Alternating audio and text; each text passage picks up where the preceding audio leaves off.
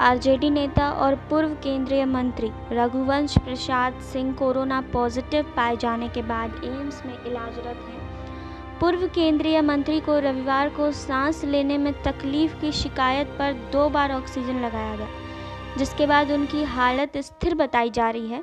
खबर के मुताबिक सांस लेने में तकलीफ़ की शिकायत पर उन्हें ऑक्सीजन लगाना पड़ा। वहीं निमोनिया में सुधार हुआ है और ब्लड शुगर और बीपी भी कंट्रोल में है।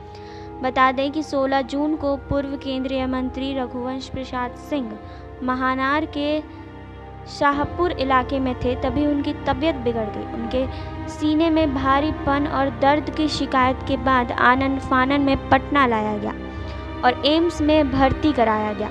सांस लेने में तकलीफ़ और निमोनिया की शिकायत होने पर पटना स्थित एम्स में उन्हें लाया गया था।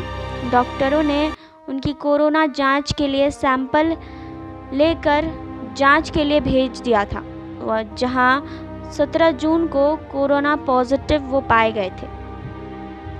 हम दुआ करेंगे कि वो जल्द ठीक हो जाएँ। आप भी दुआ कीजिए। बाकी और खबरों के लिए जुड़े रहिए हमारे साथ। नेक्स्ट नाइन भोजपुरिया से सुरभि की report. Next two nine news Bhojpuriya के सब्सक्राइब करी। और लेटेस्ट अपडेट खातिर बेल के आइकन वाला बटन दबाएँ।